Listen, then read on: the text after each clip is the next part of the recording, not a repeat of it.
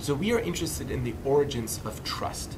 So we are trying to understand whether kids as young as four to six years of age already understand this complex social relationships of making invest investments, trusting others, and whether they differentiate between untrustworthy and trustworthy individuals.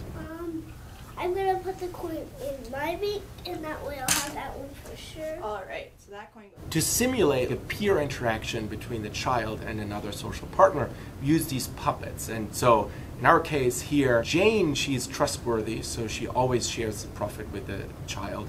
And Sally is untrustworthy and never shares with the child. I'm going to give you a coin, and you can choose what to do with it. You can put the coin right into your bank to keep it, or you can put the coin into the tray to push it to the other side because it can only be pushed to the other side when it's full.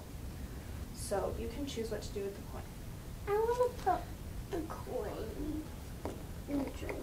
And you can push it over to Sally. And Sally, you can choose what to do with the coins. I can reach my bank, and I can reach your bank. Hmm. I'll put all four coins in my bank. One, two,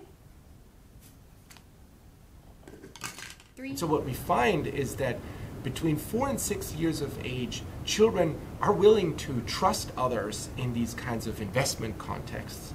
And they begin to differentiate between trustworthy and untrustworthy individuals, invest with someone who shares the profit, but don't invest with those who don't share the profit. I'm going to give you another coin, Anna, and you can choose what to do with it to put it in a tray, and then Sally could decide what kid do with it, or I could put it in my bacon and have that one for sure.